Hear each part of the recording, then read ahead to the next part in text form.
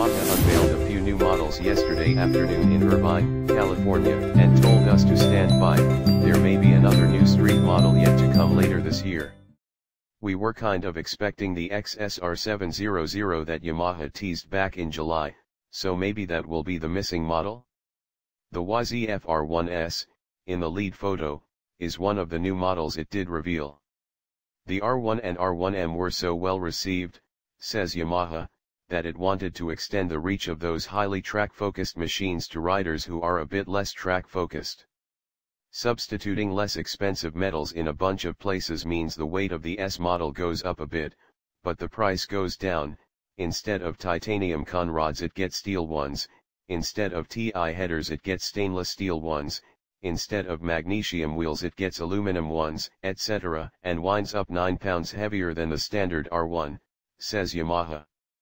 It does get the 6-way IMU and all the electronic aids of the R1 except the quick shifter, QSS in Yamalingo, which is available as an option. We'd have definitely gone for some higher clip-ons on our S version, but that would have required a whole new fairing, so the riding position remains the same. The steel rods don't let the S engine rev quite as far as the TI rod engine, but peak power is supposed to be very similar anyway.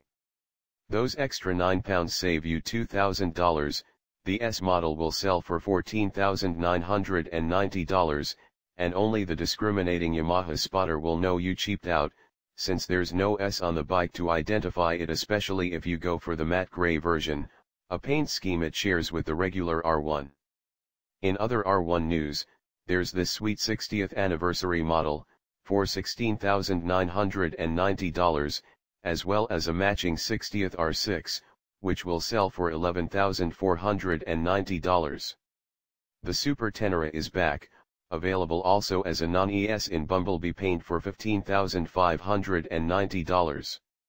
The Super Tenere ES in Raven will set you back $16,190. V-Star 1300 Tourer in Metallic Raspberry, $12,390.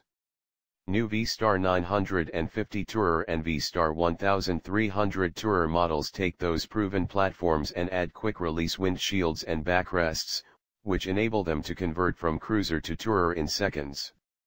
One key fits those accessories, along with the saddlebags and ignition. V-Star 950 Tourer